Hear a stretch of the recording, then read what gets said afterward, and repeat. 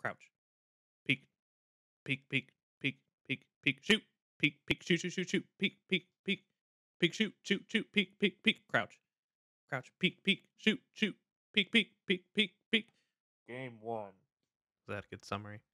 It's like, yeah, that's like every siege game of my life right there.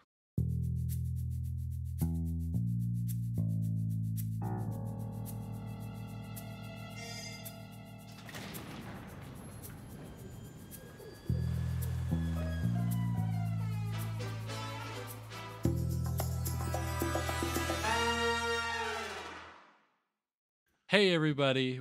Welcome back to Multiplayer Vault, brought to you by Bearitone Studios. I'm Sky, And I'm Evan. and today we're going to be talking about the lore of Rainbow Six Siege. So, Evan, do you want to start with with sort of your experiences with the game? You and I have a decent amount of experience, right? Yeah, and so like I've mentioned in uh, several other episodes that you know we, Sky and I and others have played lots of games together, and Siege was one that we always circulated back to in our you know yearly gaming rotations. We haven't touched it for a while now, but uh, yeah, we used to play a lot of it, and I was always garbage, but it was fun kind of reading all of the operators' backgrounds because they are all from you know around the world Well, you played it like really recently, like you played it earlier today, right? Yeah, I did. I played it about two hours ago, and I won a one v four with Blackbeard. Um, I was very proud of that because I almost never do well, so I was very happy. Nice. Yeah, I haven't I haven't played this game in like a year. Last time I played it, it was like the beginning of year six or something. And when we started to really get into it was like end of year five. So like 2020, it was like during the the Splinter Cell season or whatever. We got Sam Fisher, and uh, I mean that was that was cool. If you thought that the Fortnite seasons and stuff were crazy, It's me, Joel McHale. Rainbow's a whole nother level. Yeah, yeah. And then they started not releasing any new maps and only one operator a season. But whatever. Anyway, um, and with that, let's go ahead and jump into this episode's research. So, what's a NATO to do when international terrorism is at an all time high because of the end of the Cold War? To start a secret multinational counter terrorist organization, of course. Duh. Sheesh, who does this guy think he is asking a stupid question like that? That guy being me, who asked that question. I don't know. Anyways, we don't actually start this story at the beginning of this mystery anti terrorist unit. The story truly begins in 1949 when our Rainbow Six dad, John Clark, is born. Daddy Clark. Born John Terrence Kelly, the poor boy's mom dies of cancer, and a decade or so later, he joins the U.S. military, becoming a U.S. Navy SEAL just in time for the Vietnam War to start. It's there that he and other SEALs carry out several successful missions that eventually lead to him being offered a position in the CIA's Special Activities Division. John becomes a cool secret agent type that becomes involved in various international incidents such as the Iranian hostage crisis. In the 80s, his wife is killed by a drug gang operating out of Baltimore, so he goes all John Wick on them and kills all 16 involved in his wife's murder. But the Baltimore police doesn't like that Kelly killed over a dozen people without due process and all that jazz. What a bunch of squares. I mean, come on. Boo. Kelly is able to escape the grasp of the BPD with the help of an admiral friend of his, and he fakes his own death and changes his name to John Clark. So John Kelly did a John Wick, and then he turned into John Clark. Now nobody's going to be able to suspect that. Uh, a few years later, Clark does some cool action hero stuff and gets a full pardon from the US president, clearing his name and honor among the armed forces and intelligence community. He continued to work as an instructor to the CIA field operatives when he noticed that even though the chances of a major international c- confrontation was at an all time low, violent terrorism was still on the rise. Wanting to curb this increase of violence, Clark wrote a memo to NATO proposing a multinational task force that would be able to rapidly respond to incoming or ongoing threats across the globe. Thankfully, the proposal was accepted, and Rainbow was born in 1999 and headed by a newly promoted John Clark who took on the codename Six. Rainbow would operate out of the UK because, Clark reasoned, The UK was internationally accessible, was already a close ally to the US, and already had a heavily experienced counter terrorist organization, the SAS. Clark saw it as the perfect candidate for Rainbow's home base. The Phoenix Group, which was a rambling anarchist group turned international terrorist establishment, was planning on releasing the Ebola virus to cause the destruction of human civilization. During Operation Winter Hawk, Rainbow identified the target of this disastrous delivery at the 2000 Sydney Olympics. It was there that Rainbow brought this scheme to an end and arrested all of Phoenix Group's major players, rendering them into the rambling bunch of radical college kids that they just were. Throughout the early 2000s, Rainbow halted nuclear and biological weapon attacks, the dispersal of a nerve gas, and an oil trade conspiracy. John Clark would retire in 2010 and leave his position to the head of Rainbow to Domingo Chavez, his close friend and protege. Shortly after, the rate of terrorism all over the world had plummeted thanks to Rainbow's efforts.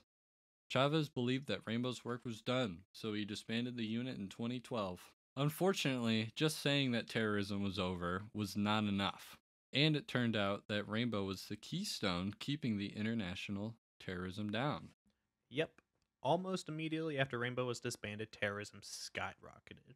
Rainbow was reactivated in 2015 by Aurella Arnott after the rise of the new white mask terrorist group. Their motives are unknown and their numbers are unquantifiable. Frankly, they're just the placeholder bad guys for new players to shoot at in the terrorist hunt at the beginning of the game when they are trying to actually learn how to play because the dynamics of the game are a lot different than other first person shooters. That is why I'm so bad at it. And a lot of other Rainbow Six games. Yes. Anyway, Following the revitalization of Rainbow, Arnott wanted more specialization within Rainbow's ranks. Among these efforts was the CBRN Threat Unit in 2018 that focused on biological menaces. And this came in pretty handy when the Chimera parasite landed in New Mexico in early 2018. So, this Chimera parasite was a billion year old space virus that landed on Earth via an assumed lost Russian cosmonaut shuttle. It consumed the secluded town it landed in and killed most of its residents. The residents that it killed were mutated into drones that would plant sickness growths throughout the town. CBRN and Rainbow were sent in to quell the outbreak and successfully did so, destroying the central hub of the virus and cutting off its ability to reproduce. What an explosive start to a newly formed subunit.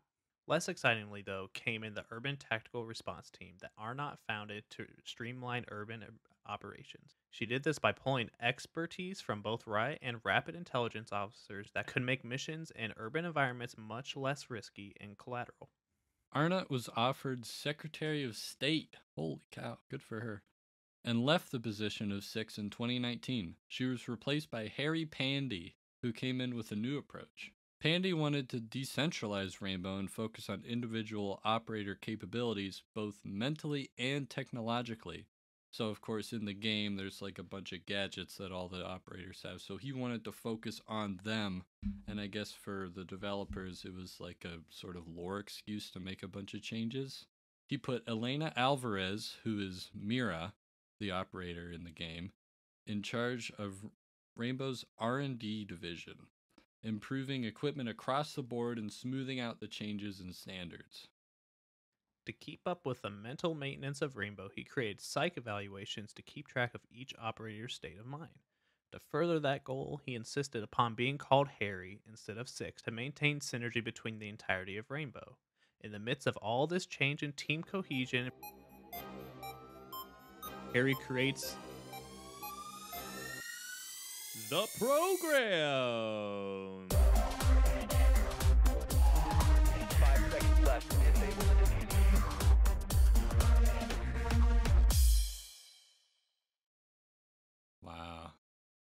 That's so cool. Just put the in front of a, a word, and then all of a sudden it's so cool. So, the program is something that Harry created as a decentralizing force, relocating Rainbow across the globe instead of just Hereford base in the UK. I mean, who wouldn't want to leave the UK as soon as possible? Like, let's be real. These new bases became homes and training facilities for the operators, making them a more connected unit instead of just co workers. One of the first facilities sprouted up at an abandoned stadium in Ellis, Greece.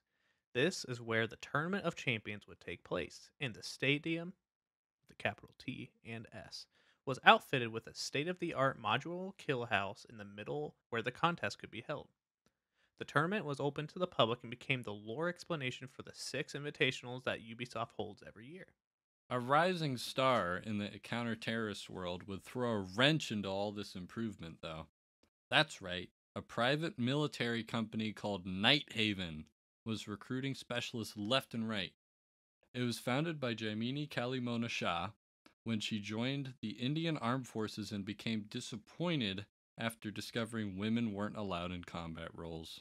Harry thought it would be a great idea to invite Nighthaven into Rainbow's ranks. His reasoning was along the lines of making the first move before another hostile organization would. So we invited Jaimini, codenamed Kali, and a close associate of hers, codenamed Wamai. We all call him Whammy. Yeah, whammy. Anyway, uh, this proved to be a big mistake on the part of Harry. By having an inside part in Rainbow, Jaimini poached several operatives from Rainbow to join Nighthaven, putting a pretty big dent in Rainbow's manpower. As of right now, Nighthaven is up to no good, and they've most recently been up to some nasty murder mystery shenanigans in Japan. So this is the Rainbow Six Siege story up until sort of early to mid 2022. What we gave you here today was just the tip of the iceberg for the entire Rainbow Six Siege story. Um, this is just kind of the background of what Rainbow is. However, sometime very soon, there may be a release of very specific details for every operator that may come out on our uh, social medias. So keep an eye out for that. So, it's time for the critics review by Multiplayer Vault's resident researcher and game critic, Francis. I think that the numerous operators in the game symbolize how we have to adapt to overcome the many challenges thrown our way throughout our lives. Sticking to the comfortable path will always be easier, but experimenting with new ways of life, or in Siege's case, operators, can unlock a hidden power deep inside all of us and allow us to live a fulfilling, satisfying life. The operators' differing ethnic backgrounds show us that anyone can change for the better. Nobody should ever be restricted by what they believe in or who they are. We all have great potential locked away. Is about finding that potential and making it a reality. Wow. So, uh, the wise words from from Francis. I think we can all learn something from these critics' reviews. I want that on a t shirt. Yeah. so that was Rainbow Six Siege. Not as long as Fortnite, but it's it's not a multiverse spanning story, so it's what we got. Eh, we'll, we'll, we'll dive into it more here in the discussion episode, so make sure to check that out. Yeah, it's a lot more of just like high school drama, especially with the operators themselves. You know, who likes who, who dislikes who, who killed each other's siblings. You know, it's kind of that kind of stuff. But anyway, thank you all for joining us for this Rainbow Six Siege episode of Multiplayer Vault. Research for this episode was done by John Ekstrom and Francis. Audio direction was by yours truly, Evan Barr. If you enjoy the podcast or would like to heavily criticize us, feel free to reach out. You can find our socials down below or just look up Bearitone Studios with bear spelled like a bear on Instagram, Twitter, YouTube, Carrier Pigeon, any of those. Also, make sure to give us a review on whatever your listening platform is. We are doing very well. I am very happy to announce that we have all five stars on uh, Apple Yeah. Podcasts. So hopefully, yeah. No more Um, I think there's like four reviews That's right it. now. No more reviews. Nobody's allowed to review. Stop the count. Um, yeah, but no, not only will you doing that help us reach other potential listeners, but it just lets us know that you enjoy our content and would like to see more. Once again, thank you all for tuning into our episode. I'm Sky, And I'm Evan. and this is Multiplayer Vault.